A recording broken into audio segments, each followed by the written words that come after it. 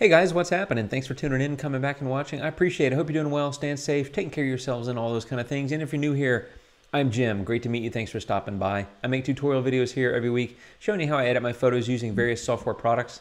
Today I'm in ON1 Photo Raw 2021 and I've done a few videos about it. I recently did a video, I'll, I'll link to it there, on brush masking. And the next video I wanted to do is about what, what they call a masking bug. I'd heard for a long time, and I experienced this myself in my kind of limited usage of ON1 in the past, and that is that their masking is really capable, really powerful, really good, all those kind of things. A lot of people would leave comments on other videos for me about that and say, hey, you should really do this. And so I looked at ON1 2020, which is their older version, and I had it and I played around with it and I made some videos about it, but I never really got into it. But because I'm now looking for an alternative to Lightroom and I'm considering ON1 for that, I'm trying to dive in, do more videos, and learn more about the product and sharing what I learned here. So uh, I'm in a photo today and I want to talk about the masking bug because the masking is really powerful and really capable in ON1. And um, I will also admit that in the beginning it was also a bit confusing for me. So here's a photo. Now I've already made a few adjustments. I started on the develop tab and I did a few things with highlights and shadows and things like that. Then I went to the effects tab and I, let me just turn these off.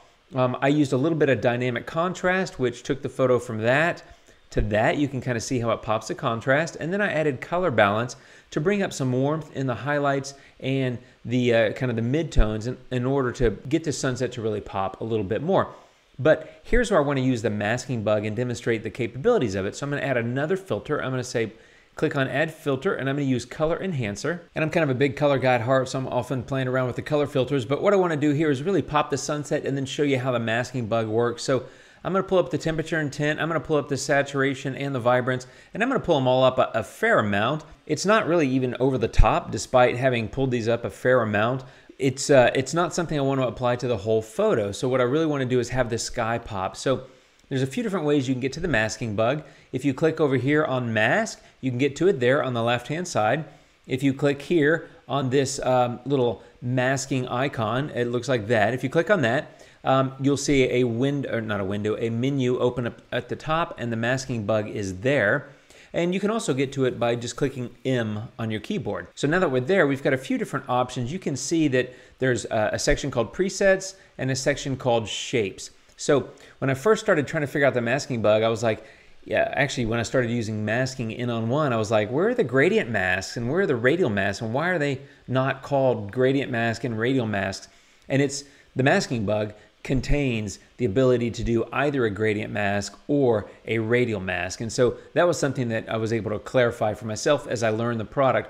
There's presets, which as it says here, you select basically a preset and it will pick the shape for you, or you can come over here and just pick the shape. So let me click in this menu and show you what some of the options are. Now remember, the key thing with masking is white reveals and black conceals. So anywhere that you see in this little visual, I love that they have a little visual there that tells you uh, or shows you where white and black are. But white reveals, which means the edits I make in Color Enhancer, because that's what I'm masking, those edits will appear in the area that is white and they will not appear in the area that's black. White reveals, black conceals. The confusing thing for me was linear top. I hear linear top and I think, oh, my mask goes in the top. It's actually the opposite. It's obscured or it's black in the top. Linear bottom is more what I'd be interested in for this filter because linear bottom is masking out or you know black on the bottom and white on the top. So keep that in mind. There's linear left and right, which is also gradient, but there's also vignette.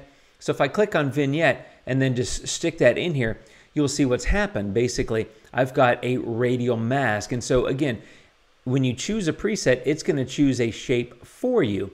So I've chosen a radial here because I chose the vignette, but I don't really want that to be honest. So I'm just going to hit reset. Uh, by the way, if you click on view, you can view the mask and you can see black conceals and white reveals. So this is not uh, the right kind of mask for the photo. I just wanted to show you that you can adjust the shapes and that sort of thing. You can also, with this uh, little circle there, you can rotate, and then with this, you can move it all around the photo. So I'm going to uh, click off the view, and I'm going to hit reset because I don't want that.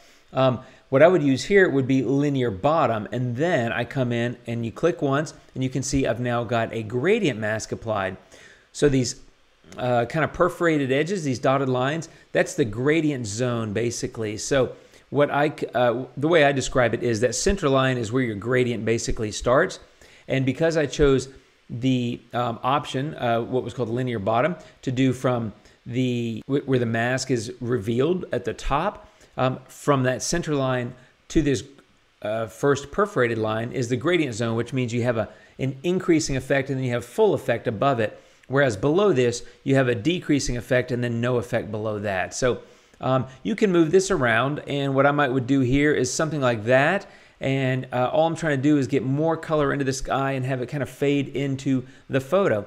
That's what the mask looks like. So white is going to be all the effect. Gray is going to be starting to reduce the effect as you come to that center line. And then below the center line, gradually reducing until you get to that bottom line and then no effect at all. Okay, so I've shown you that. Now I'm going to hit reset and I'm going to go back over here. Now, like I said, you can choose left or right if you want to mask it in from one side or the other, or you can just skip presets altogether and go straight to shape. So center and edges, these are radial masks. So if I click center, once again, and I'm going to pull this in because of the size, um, it's just bleeding off the page there. Um, you can see center is center is masked out and white, it's revealing the effect outside of that. So I don't want center on this photo, and in fact, I wouldn't use a radial mask on this photo for this edit. But um, edges is the opposite. Edges is basically the invert of a radial mask. So center is a traditional radial mask, which is conceal on the center and reveal on the outside. Edges is basically an invert of that. So this was kind of confusing to me at first until you start playing with it and looking at the shapes. Now I'm going to hit reset because I don't want that either. Um, Gradient is just grabbing the gradient, same thing we did before, right? But here's one that's really cool that I think is, um, I don't really ever hear talked about, and that's reflected gradient. So let me show you this one. This is basically a gradient zone in the center, or excuse me, a masking zone in the center that's completely black and then a gradient above it and below it. So a photo like this really gives you a lot of options because I can compress that, that black zone, if you want to call it that, and then um, just move these around in order to reflect that gradient. And if I show you view, you can see there that no effect, in other words, the color enhancement that I've done is not going into that black area, but it is going into the two white areas. And I love that. That is a really cool tool. I actually might increase the gradient zone just to kind of smooth that transition. But one of the things I often find in shots like this is if you're not masking in your color, you're reflecting a whole lot of color into the cityscape and you may not want to do that. And I often do not want to.